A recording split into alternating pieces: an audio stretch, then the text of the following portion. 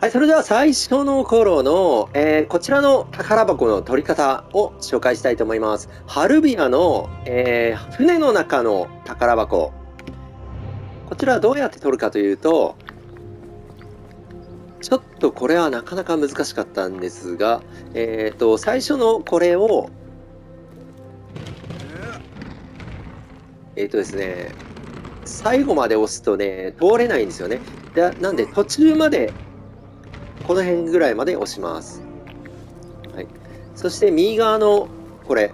これは特にあんま関係ないような気はするんですけども、えっ、ー、とね、これね、正規の取り方ではないかもしれないです。他の取り方があるかもしれないんですけれども、はい。えー、ここにちょっとした隙間を作り,、ま、作ります。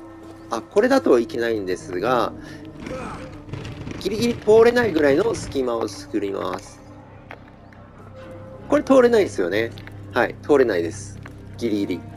えー、そうすると、ここ、この鼻へジャンプ。はい、こんな感じでよじ登ります。はい、そうすると渡ります。これが正規の取り方なのかもしれないんですけどね。えー、この棚はこうこういう位置ですね。はい。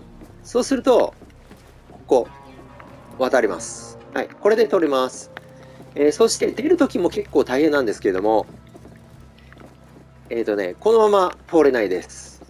また同じようにジャンプして、これをままた何回もやらないと引っかからないです。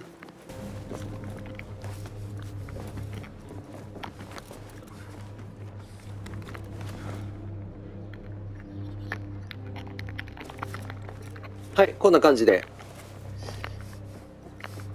ちょっと難しいですよね。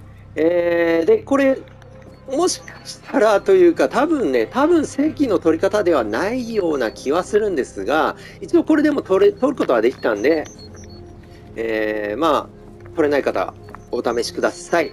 ということで、えー、こちらの、えー、まあ、船のね、えー、もうほんと序盤です。序盤の宝箱の取り方を紹介しました。はい、そうすると、残樹軍の防具、こちらが取れます。はい、このチャンネルでは、アサシンクリードミラージュのいろいろな攻略上げていきたいと思いますので、えー、よかったらチャンネル登録をお願いします。